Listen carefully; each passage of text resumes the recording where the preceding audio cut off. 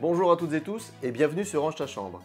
Pour celles et ceux qui suivent la chaîne sur Facebook et Instagram, vous avez pu voir que les derniers jours écoulés ont été consacrés au rangement de la chambre, surtout pour lui donner un peu de vie parce que, bon, on va pas se mentir, jusqu'à maintenant, l'arrière-plan n'était pas foufou. La décoration n'est pas totalement terminée, mais d'ores et déjà, n'hésitez pas à me dire dans les commentaires ce que vous en pensez et à vous abonner à mes réseaux sociaux afin de suivre les coulisses de la chaîne. Comme je l'évoquais dans la toute première vidéo, je souhaite de temps en temps vous parler et pourquoi pas vous faire découvrir des auteurs et des dessinateurs que j'affectionne particulièrement. Eh bien aujourd'hui, il s'agira de Aimé de Jong ou de Jong, selon votre prononciation, à la française ou à la néerlandaise, sachant qu'elle est née aux Pays-Bas. Dans cette vidéo, je vais vous parler de cet auteur et surtout de ses œuvres et des raisons pour lesquelles je les apprécie et vous encourage à les découvrir. Alors on ne perd pas de temps et on commence juste après le générique.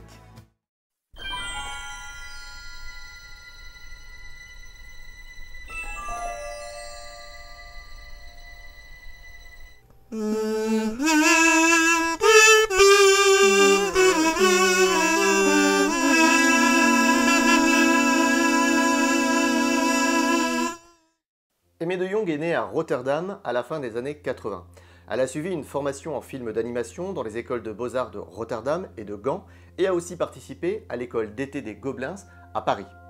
En 2006, alors âgée de 18 ans, elle publie sa première bande dessinée, Aimé TV, lui apportant ainsi une certaine notoriété dans son pays. Entre-temps, elle a également travaillé dans l'industrie de l'animation et sur des postes très différents. Par exemple, elle a réalisé un court métrage nommé Aurora, a participé à l'écriture de storyboards pour l'excellente série d'animation Undone, toujours disponible sur Amazon Prime Video, a animé une série de clips pour un talk show néerlandais, ou encore, et c'est ce qui est à ce jour son plus gros projet, dans l'animation, a réalisé un long métrage nommé Behind the Telescope, joué en théâtre avec des musiciens en live. À 22 ans, sa carrière dans la bande dessinée s'accélère avec la publication pendant 5 ans de sa série BD quotidienne Snipers dans l'un des journaux les plus lus aux Pays-Bas, Metro. Sur un ton humoristique, elle nous dresse le portrait de jeunes colocataires face aux difficultés du quotidien, des plus banales, comme la cuisine ou les tâches ménagères, ou sur la vie sociale de jeunes néerlandais. Parallèlement, en Belgique, elle se fera connaître grâce à des bandes dessinées pour jeunes enfants comme Kito et Boris, qui racontent les aventures de Kito le lapin et de Boris l'ours, meilleurs amis vivant au milieu de la forêt avec les autres animaux et qui avaient surtout pour vocation d'accompagner les très jeunes lecteurs dans l'apprentissage de la langue néerlandaise. Ou encore Slim Pim, qui nous permet de suivre un garçon de 10 ans particulièrement intelligent, essayant de créer des inventions pour que sa famille et ses amis aient une vie meilleure, et qui peut heureusement compter sur son ami Max pour l'aider lorsque ses expériences tournent mal. Au début des années 2010, Aimé avait eu l'intention, avec son éditeur, de travailler sur une adaptation BD du roman de William Golding, Sa Majesté des Mouches. Malheureusement, ils n'ont pu obtenir les droits et sont donc partis sur un autre projet. Et c'est ainsi que quelques années plus tard, en 2014, sort son premier roman graphique, grâce auquel elle se fera remarquer à l'international, Le Retour de la Bondrée.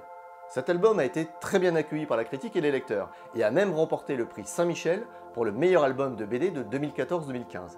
Dans cette œuvre, on y suit le personnage de Simon, qui, enfant, voulait devenir ornithologue et qui a finalement poursuivi la route que lui avait tracée son père en reprenant la librairie familiale. Alors que l'affaire est en déclin et que son épouse l'encourage à la vendre, il ne peut pas s'y résoudre car il ne parvient pas à se détacher de cet héritage paternel. Un soir, il assiste au suicide d'une femme qui se jette sous les roues d'un train. Cet événement fait alors ressurgir dans son esprit un drame survenu dans son enfance.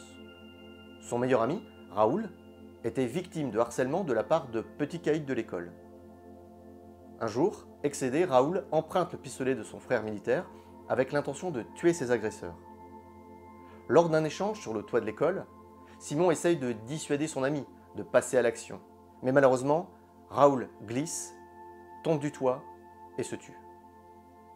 La police conclut alors au suicide et Simon ne dit pas ce qu'il a vu pour ne pas entacher la mémoire de son ami et renforcer la culpabilité de ses harceleurs. Aurait-il pu faire plus pour aider son ami? Aurait-il dû dire la vérité? Aurait-il pu sauver cette femme? Faut-il vendre la librairie familiale au risque de trahir son père? Autant de questions qui lui font ressentir un fort sentiment de culpabilité qu'il a de plus en plus de mal à gérer. Dès cet album, on commence à percevoir chez cet auteur le désir de mettre en lumière l'humanité des personnages, avec notamment ce que cela implique en blessures profondes.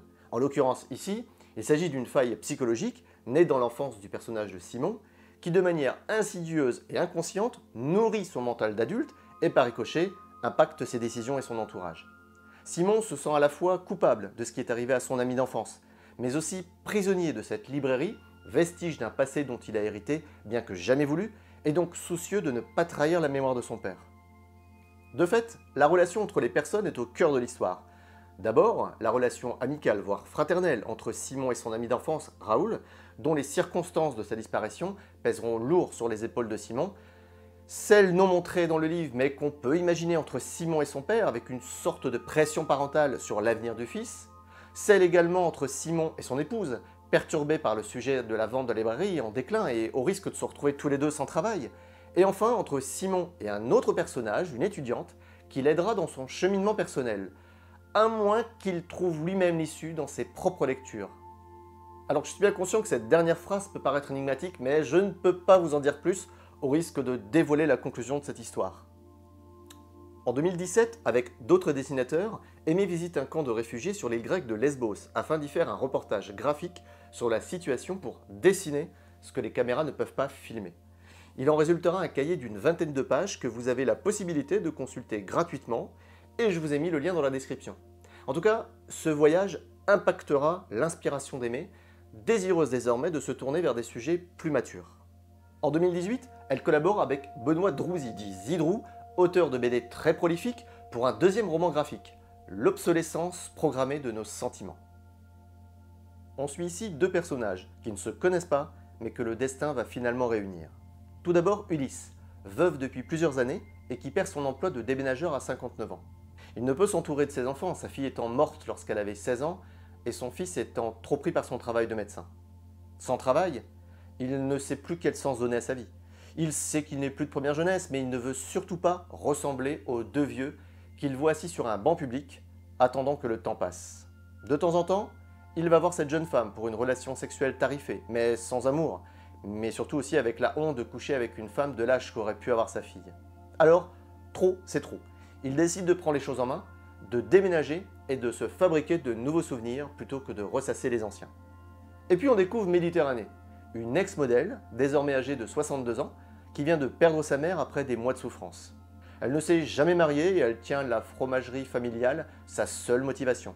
Son passé de mannequin n'est désormais plus qu'un vieux souvenir que son reflet dans le miroir lui rappelle sans scrupule. À qui pourrait-elle encore plaire avec ce corps qui n'est plus qu'un vague reflet de sa beauté d'antan? Deux anonymes de la vie qui, peu à peu, se sont enfermés dans la solitude et l'isolement. Et puis un jour, le hasard ou le destin, peu importe, les amène à se rencontrer. Deux âmes perdues qui pensaient avoir fait une croix sur l'amour et qui finiront par le trouver dans une belle complicité.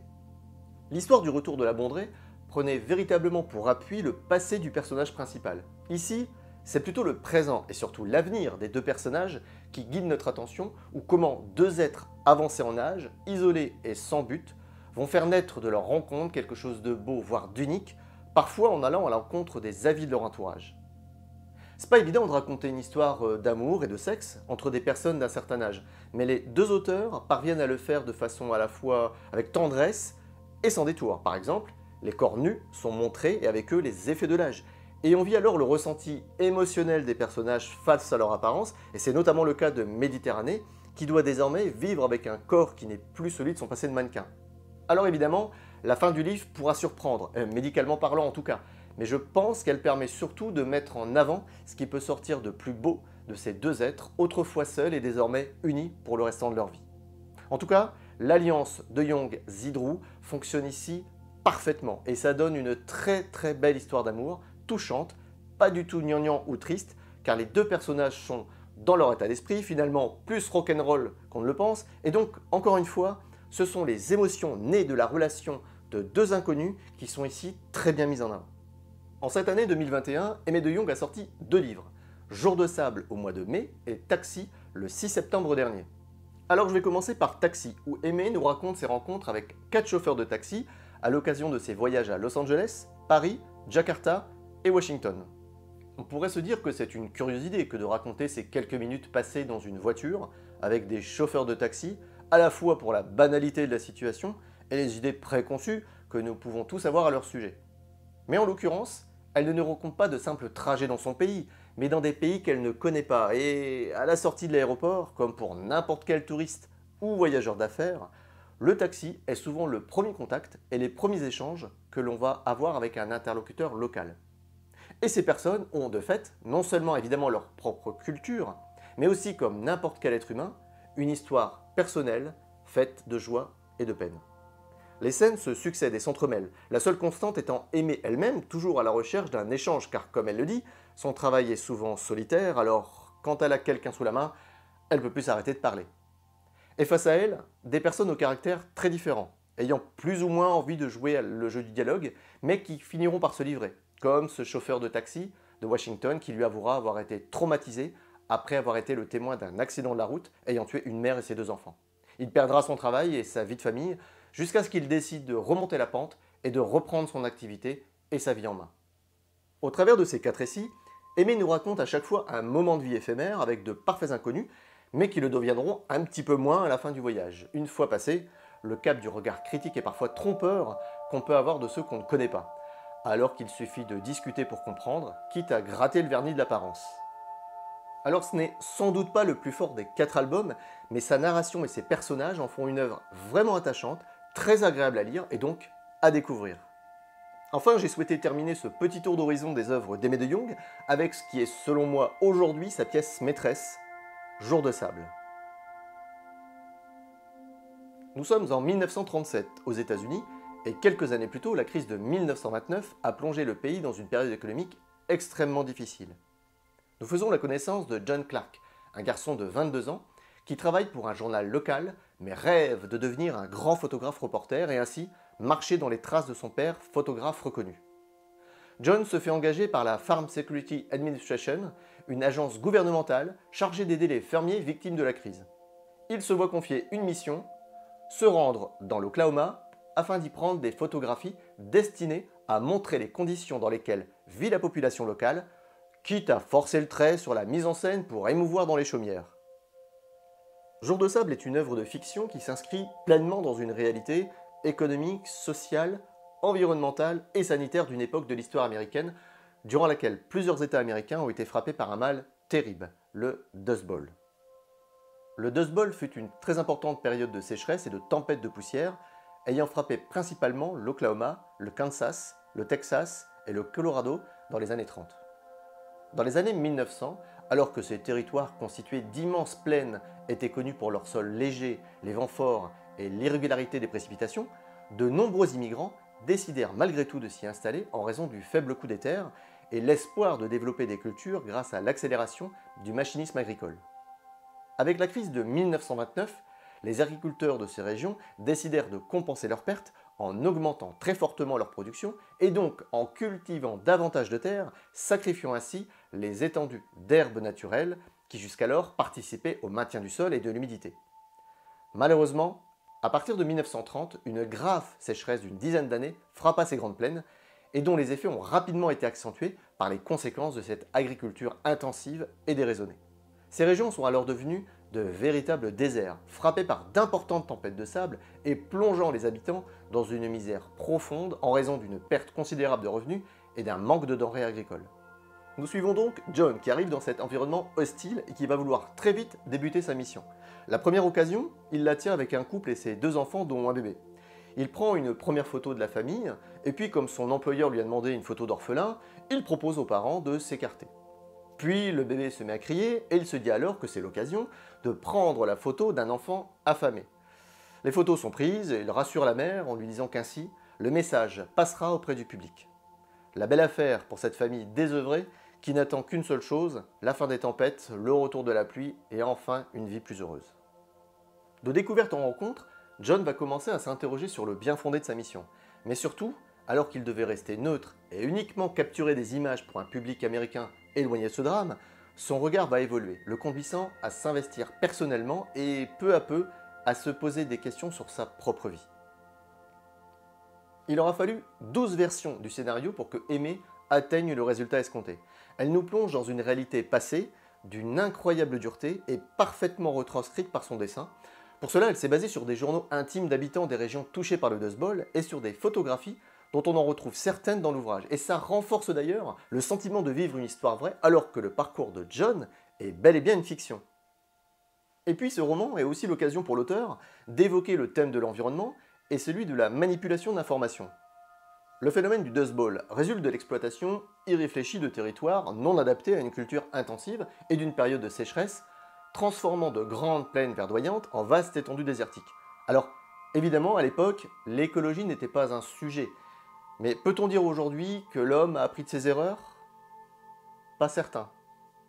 La liste de photographies à mettre en scène a bel et bien existé, et on en retrouve des traces dans les archives. On voit d'ailleurs dans ces dernières que certaines photos n'ont pas été retenues car jugées pas assez fortes pour heurter le public. On peut se dire que ça part d'une bonne intention, sensibiliser l'opinion publique et les politiques pour que des actions soient menées afin d'aider ces populations. Mais à partir du moment où on adapte la réalité à ses besoins, quelle qu'en soit la motivation, on décide donc de trahir la vérité pour manipuler son audience. Pensez pas? Bref, je ne peux que vous conseiller la lecture de ce superbe roman graphique qui regorge de qualité et qui, bien que traitant d'un événement passé, conduit aussi à nous interroger sur notre présent et notre avenir individuel et collectif. Aimé de Jong propose dans ses romans graphiques des univers très cinématographiques avec de nombreux plans sans dialogue, mettant d'abord en avant les expressions et les sentiments des personnages, préférant que les lecteurs s'accrochent au dessin plutôt qu'au texte, et finalement s'appliquant ainsi la devise du cinéma que beaucoup devraient suivre, show, don't tell, ou montrer plutôt que raconter. On sent l'expérience de l'auteur dans le film d'animation, notamment dans ses cadrages et son amour pour les mangas dans le trait de son dessin. Et ça donne un mélange très intéressant, surtout lorsqu'elle prend le parti du noir et blanc, comme dans Le Retour de la Bondrée ou Taxi. Mais au-delà de l'aspect purement technique, ce qui me plaît surtout dans ses œuvres est sa faculté à nous plonger rapidement dans une histoire, qu'il s'agisse d'un drame intime, d'une rencontre inespérée, de se découvrir au travers des autres ou simplement d'échanges fugaces avec des inconnus. Et de nous faire aimer ces personnages en nous guidant au-delà des apparences. Ces œuvres sont non seulement très intéressantes à lire en tant que telles, mais surtout, elles font du bien. Parce que le temps d'une lecture, elles nous ramènent à ce que nous sommes, des humains, et ce qui devrait être notre credo. Ne pas avoir peur de l'inconnu et des inconnus, parler pour mieux se comprendre, et finalement, tous ensemble, de devenir meilleur. J'espère que cette vidéo vous aura donné envie de découvrir les œuvres d'Aimé de Jong. Croyez-moi, vous ne perdrez pas votre temps à les lire, bien au contraire. Si cette vidéo vous a plu, je vous encourage à cliquer sur le pouce bleu, ça fait plaisir et comme vous le savez, ça aide très concrètement la chaîne, mais aussi à vous abonner si ce n'est pas déjà fait et à cliquer sur la cloche de notification afin d'être averti des prochaines vidéos.